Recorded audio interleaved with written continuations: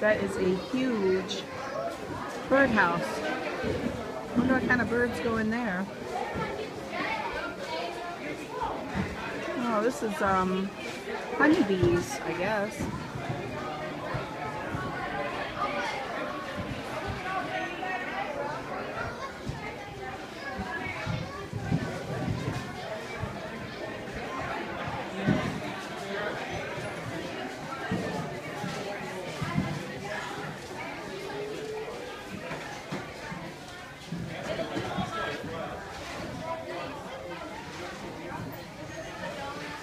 Oh, oh, that,